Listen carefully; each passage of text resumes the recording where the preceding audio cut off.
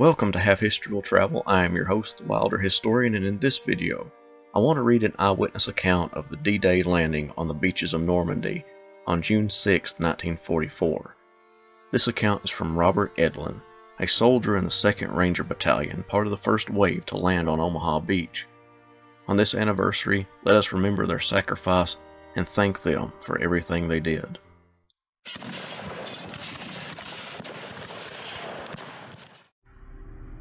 Our assault boat hit a sandbar.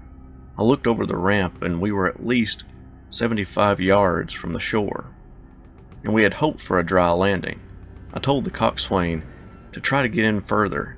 He screamed he couldn't, that British seaman had all the guts in the world but couldn't get off the sandbar.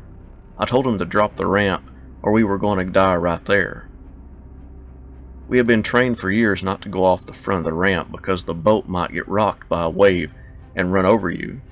So we went off the sides. I looked to my right and saw a Company B boat next to us with Lieutenant Bob Fitzsimmons, a good friend, take a direct hit on the ramp from a mortar or mine. I thought there goes half of B Company. It was cold, miserably cold, even though it was June. The water temperature was probably 45 or 50 degrees. It was up to my shoulders when I went in, and I saw men sinking all about me. I tried to grab a couple, but my job was to get on in and get to the guns. There were bodies from the 116th floating everywhere. They were face down in the water with packs still on their backs. They had inflated their life jackets. Fortunately, most of the Rangers did not inflate theirs, and they also might have turned over and drowned. I began to run with my rifle in front of me. I went directly across the beach to try to get to the seawall, in front of me was part of the 116th Infantry pinned down and lying behind beach obstacles. They had been into the seawall. I kept screaming at them, you have to get up and go. You gotta get up and go. But they didn't.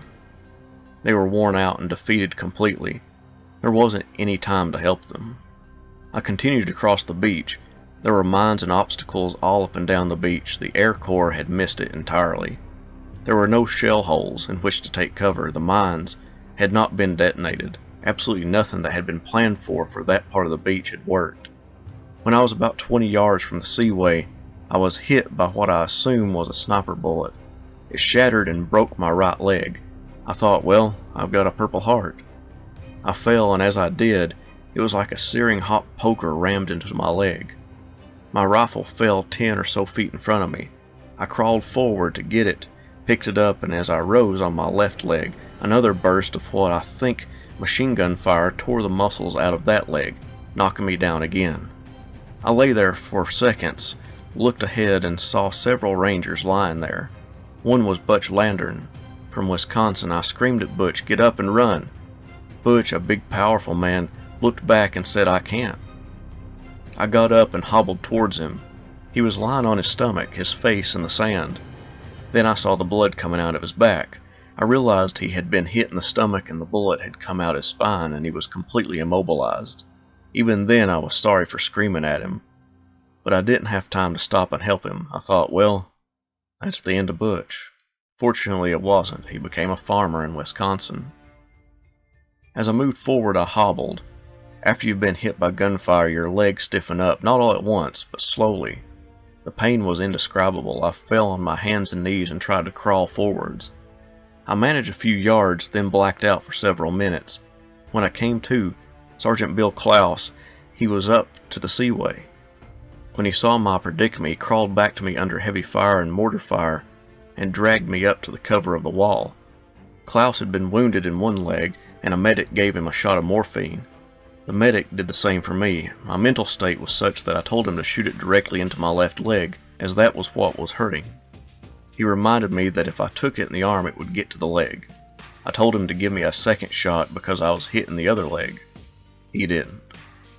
There were some rangers gathered at the Seawall, Sergeant William Courtney, Private William Dreyer, Garfield Ray, Gabby Hart, Sergeant Charles Berg. I yelled at them, you have got to get off of here.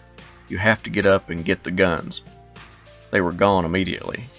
My platoon sergeant, Bill White, an ex-jockey, whom we called Whitey, took charge. He was small, very active, and very courageous. He led what few men were left out of the 1st Platoon and started up the cliffs. I crawled and staggered forward as far as I could to some cover in the bushes behind a villa. There was a round stone well with a bucket and handle that turned the rope. It was so inviting.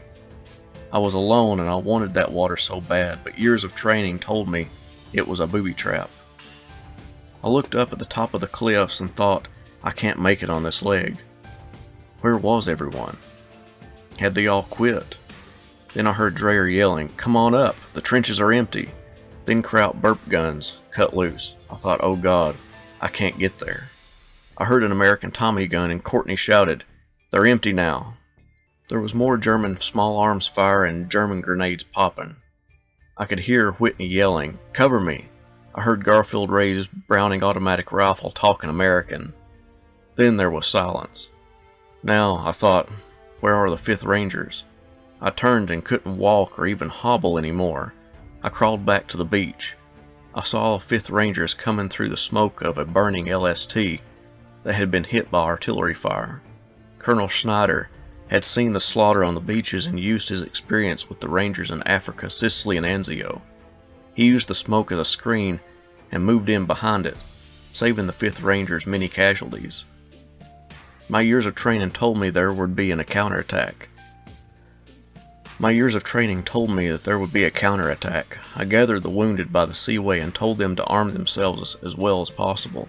I said if the Germans come, we are either going to be captured or die on the beach but we might as well take the Germans with us. I know it sounds ridiculous, but 10 or 15 Rangers lay there, facing up to the cliffs, praying that Sergeant White, Courtney Dreyer, and the 5th Ranger Battalion would get to the guns. Our fight was over unless the Germans counterattacked. I looked back to the sea. There was nothing. There were no reinforcements. I thought the invasion had been abandoned. We would be dead or prisoners soon. Everyone had withdrawn and left us. Well, we had tried. Some guy crawled over and told me he was a colonel from the 29th Infantry Division. He said for us to relax. We were going to be okay. D, E, and F companies were on the point. The guns had been destroyed. A and B companies and the 5th Rangers were inland. The 29th and 1st Divisions were getting off the beaches. The colonel looked at me and said, You've done your job. I answered, How? by using up two rounds of German ammo on my leg. Despite the awful pain, I hope to catch up with the platoon the next day. Thank you so much for watching this video. Please share the video to get the word out about the channel and stay tuned for more eyewitness accounts. I'll leave you with the words of George S. Patton and Franklin D. Roosevelt. Every single man in this army plays a vital role. Don't ever let up. Don't ever think that your job is unimportant. Every man has a job to do, and he must do it. Every man is a vital link in the great chain. Democracy alone of all forms of government enlists the full force of men's enlightened will. It is the most humane, the most advanced, and in the end, the most unconquerable of all human society. The democratic aspiration is no mere recent phase of human history. We, would rather die on our feet than live on our knees.